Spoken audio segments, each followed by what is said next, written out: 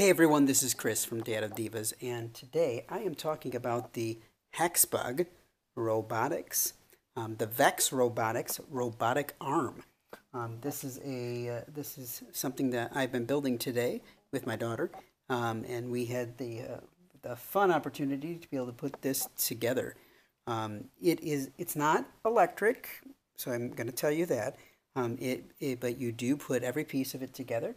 Um, it is a lot of fun to put together, and uh, the instructions are very detailed, so they will help you to be able to um, to be able to build it and make sure that it works perfectly right. Um, let me show you how it works so you can get a better picture of it when you do put it all together. Um, every piece, as you can see here, is um, has uh, has little parts that that snap together. So as you're putting this together, you can easily see that it will it will um, work. Um, in the end, you have different knobs, different lever levers here that will do different things. So as I turn this, you can see that the arm will move um, forwards and backwards, whereas the other knob will go kind of up. So if I go like this,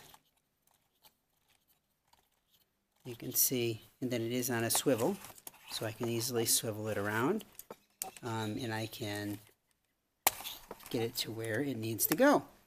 Um, now you do have to be careful with it so that you're not, you're not, um, you're, and you don't really want to move it around a ton. But as you are moving down, so if I'm going down to get this little mouse down here, whoop, I'm going to move it back a little bit. There. Then the little wheel that you see here will close. We'll close the, oop, and I missed it.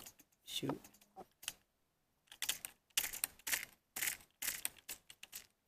I grabbed it.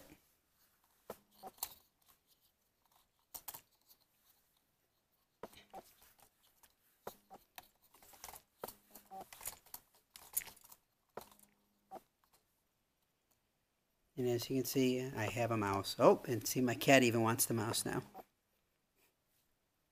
So this is the Vex, the Hexbug Vex robotic arm and uh, it is a ton of fun to build, um, a ton of fun to build with your kids um, or by yourself.